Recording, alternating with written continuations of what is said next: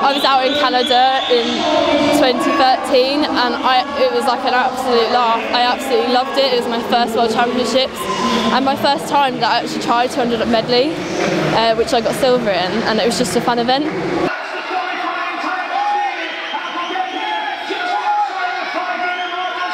Obviously every event before uh, the Paralympics, Olympics, no matter what one it is, there is always so many people coming through because they're going there to get classified, they're going there to make their mark and put their stamp on ready to get into Rio.